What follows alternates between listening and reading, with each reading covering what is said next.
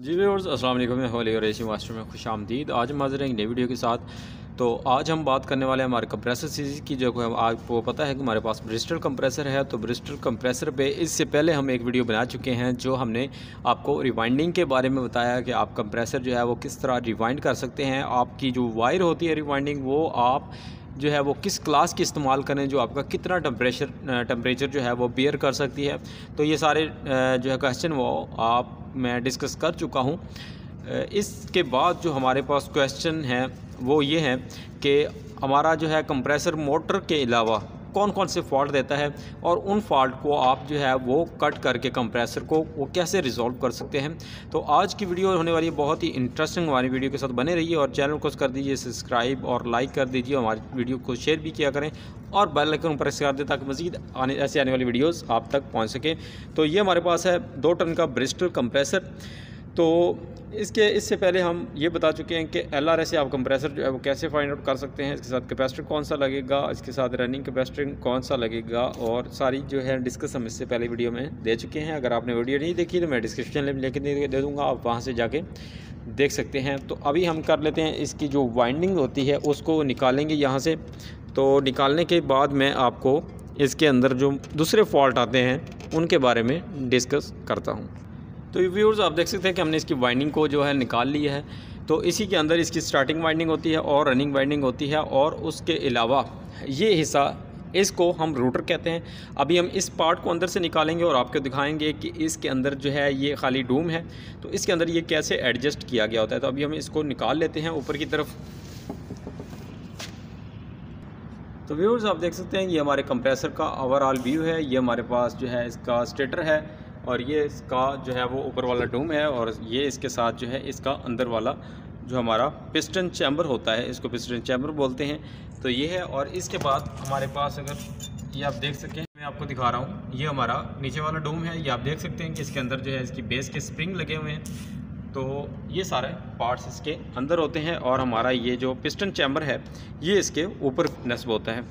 तो अभी मैं आपको जो चीज़ बताने वाला हूँ कि इसके अंदर जो फॉल्ट्स आते हैं, उनमें से कौन कौन से फॉल्ट्स जो हैं वो आपको फेस करने पड़ सकते हैं। तो सबसे पहला फॉल्ट आता है कि आपका कंप्रेसर जो है, वो चलते चलते बहुत ज़्यादा आवाज़ देता है, बहुत ज़्यादा नॉइज़ करता है। तो उसके दो रीज़न होते हैं। पहला रीज़न क्या है कि उसका बेस स्प्रिंग जो है, वो टूट जाता है। जिसकी वजह से हमारे कंप्रेस का कंप्रेसर का जो बॉडी है, वो हमारे बॉटम के साथ या अपर जो है अपर साइड डोम के साथ जो है, वो बहुत तेज़ी से वाइब्रेट होके टच करता है, लगता है ज़ोर से। तो जब वो अपर बॉडी के साथ ज़ोर से लगता है तो उससे नॉइज़ पैदा होती है, बहुत ज़्यादा आवाज़ पैदा होती है, वो शोर जो है, वो बर्दाश्त नहीं होता। तो वो इसी वजह से होती है कि हमारा जो स्प्रिंग जो है, वो ये टूट जाते हैं स्प्रिंग क्योंकि इन्हीं पे ये हमारा सारा वेट जो है, वो आ रहा होता है, जिसकी वजह से हमारा जो मोटर चलती है तो ये इस तरह हिलती है। उस वाइब्रेशन को एब्जॉर्ब करने के लिए ये स्प्रिंग लगाए जाते हैं। तो ये स्प्रिंग टूटने की वजह से ये फॉल्ट आपको देखने को मिल सकता है। उसके बाद अगर हमारे स्प्रिंग भी ठीक हैं, उसके बाद अगर फ़र्ज़ करें आप कंप्रेसर को हिला के देखें तो आपको वो आवाज़ नहीं आएगी। ठीक है, अगर आप कंप्रेसर को खाली हिला के देखें, अगर आपका स्प्रिंग डैमेज है तो बहुत ज़्यादा आपको ये आवाज़ जो है वो सुनने को मिलेगी। ठीक है, अगर आपका स्प्रिंग डैमेज नहीं है तो जब कंप्रेसर को ऑन करते हैं, तभी वो आवाज़ आती है। तो इस साइड पे आपको मैं दिखा सकूँ तो हमारा पिस्टन चैम्बर लगा हुआ है। तो ये आप नीचे की तरफ़ देख सकते हैं, मैं आपको दिखाता हूँ। तो ये आप देखें, यहाँ पे हमारा पिस्टन चैम्बर है।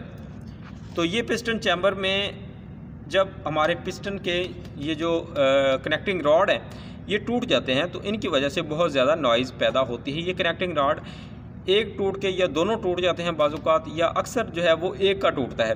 तो उसकी क्या रीज़न होती है? उसकी रीज़न यही होती है कि जो आपने ऑयल डाला है, उसके अंदर या तो इसकोस्टी लेवल कम है, जिसकी वजह से हीट हुआ है और हीट होकर हमारा पिस्टन जो है वो अंदर स्टक हो गया है और ये हमारा जो है वो कनेक्टिंग रॉड टूट गई है। दूसरा ये कि आपके ऑयल के अंदर कचरा था, जो कचरा जो है वो आपके कनेक्टिंग राड के अंदर जो आया है काफ़ी ज़्यादा, जिसकी वजह से कनेक्टिंग राड जो है वो फंस गई कहीं पे और हमारी मोटर जो है स्टार्ट लेने पे इसकी कनेक्टिंग राड को तोड़ दिया है। तो ये फॉल्ट इस वजह से भी आता है। ये आप देख सकते हैं कि यहाँ पे हमारा पिस्टन चैम्बर है। तो जब मैं इसके रूटर को, इसको घुमाता हूँ तो ये आप देख सकते हैं हमारे पिस्टन जो है वो आगे पीछे रोटेट करते हैं। तो ये इस तरह कुछ वर्क करता है, ये हमारा सिस्टम ये मैं इसको सीधा करके रख लूँ। तो ये आप देख सकते हैं कि इसके अंदर जो है वो पिस्टन आगे पीछे रेसिप्रोकेटिंग हालत में मूव कर रहे हैं। तो यही हालत इसके प्रेशर बनाने की ज़िम्मेदार होती है। अगर ये इनमें से एक भी पिस्टन टूट जाए तो हमारा कंप्रेसर चलता तो है लेकिन बहुत ज़्यादा नॉइज़ करता है। ये बाज़ात वो पिस्टन फंस के इसकी कनेक्टिंग राड की इस जगह फंस जाता है जिसकी वजह से हमारा कंप्रेसर जो है वो स्टार्ट ही नहीं ले पाता। तो व्यूर इस तरह जो है वो आप पिस्टन का और हमारे जो आ, स्प्रिंग होते हैं उनका अंदाज़ा लगा सकते हैं कि हमारा पिस्टन टूट चुका है या हमारा जो है वो आ, स्प्रिंग टूट चुका है। अगर पिस्टन टूट जाए अगर एक टूट जाए फिर भी आपका कंप्रेसर चल रहा है तो प्रेशर कम कर देगा। डिस्चार्ज प्रेशर में फ़र्क आ जाएगा और सक्शन प्रेशर में भी फ़र्क आ जाएगा और लो कूलिंग हो जाएगी। तो ये सारे फॉल्ट जो है वो इस तरह आपको देखने में मिल सकते हैं। तो बाज़ात जो है हमारा पिस्टन भी बिल्कुल ठीक है मोटर बिल्कुल ठीक चल रही है लेकिन फिर भी हमारा सिस्टम जो है वो प्रेशर नहीं बना रहा। आपका जो है वो एयर कंडीशन प्रेशर नहीं बना रहा। तो उस सूरत में क्या होता है? उस सूरत में आपका जो है कंप्रेसर का पंप जो है, वो वीक हो जाता है। अगर कोई टेक्नीशियन आपको ये कहता है कि आपका जो है कंप्रेसर का पंप वीक हो चुका है तो उसका ये मतलब है कि या तो आप कंप्रेसर रिपेयर करवाएँ, इसको ओपन करवा के इसका जो है वो मैं आपको वॉल्व चैम्बर दिखाता हूँ, या तो आप वो चेंज करवाएँ तो या फिर आप अपना कंप्रेसर जो है वो चेंज कर लें। तो व्यूर्स आप देख सकते हैं कि ये वाला एरिया जो है, इसका वाल्व चैम्बर है। इसी के अंदर जो है वाल्व प्लेट लगी हुई है। ये मैं आपको दिखा सकता हूँ कि आप देख सकते हैं, यहाँ पे ये सेंटर में एक लाइन सी है। ये इसकी वाल्व प्लेट इसके अंदर लगी होती है, जिसके ऊपर जो है वो दो स्ट्रिप लगी होती हैं, दो पत्रियाँ लगी होती हैं, एक सक्शन की और एक डिस्चार्ज की, वो आगे पीछे रेसिप्रोकेटिंग पिस्टन के साथ मूव करती हैं, जिससे हमारे एयर कंडीशन के अंदर प्रेशर जो है वो क्रिएट होता है और वो डिस्चार्ज करता है। अगर वो प्रेशर जो है वो पतरियाँ ख़राब हो जाएँ तो जब पिस्टन आगे की तरफ़ जाता है तो पतरी हटती है और जब पिस्टन पीछे की तरफ़ आता है तो वो पतरी वापस पीछे आ जाती है, जिसकी वजह से हमारा जो डिस्चार्ज का प्रेशर है, वो वीक हो जाता है। तो उसके साथ ये अगर चैम्बर में आपको दिखाऊँ तो ये आप देख सकते हैं, ये हमारा जो चैम्बर लगा हुआ है, इसके अंदर से डिस्चार्ज होती है। ये डिस्चार्ज की लाइन जो आपको कंप्रेसर को पीछे की तरफ़ देखने को मिल रही है, ये वाली तो ये इसके साथ अटैच होती है, इसके इस साइड पे ये आप होल देख सकते हैं तो ये यहाँ से प्रेशर को एग्ज़िट करती है। तो ये इस चैम्बर के साथ कनेक्टेड है, यहाँ से प्रेशर जो है हमारा डिस्चार्ज होकर यहाँ से निकलता है और यहाँ से हमारा आउट होता है। तो ये इसका ब्रास का लगा हुआ है, ये इसलिए ब्रास का लगा हुआ है कि ये ज़्यादा से ज़्यादा कंप्रेसर की इंटरनल जो हीट है, उसको जज़ब करे और कंडेंसर के अंदर भेजे ताकि वहाँ पे इसका टेम्परेचर डाउन हो सके। तो ये थे चंद एक इसके फॉल्ट इसका आप जो पिस्टन भी चेंज करवा सकते हैं और उसके साथ जो है इसकी वॉल प्लेट जो है वो भी तब्दील हो सकती है अगर कोई रिपेयर करके दे तो। अदरवाइज़ इसकी काफ़ी ज़्यादा कॉस्ट है पाकिस्तान के अंदर भी और शायद दूसरे ममालिक में भी होगी। तो इसलिए जो है वो इसको आप रिपेयर भी करवा सकते हैं। तो वाइंडिंग के हवाले से हमने पहले जो है वीडियो बना दी है।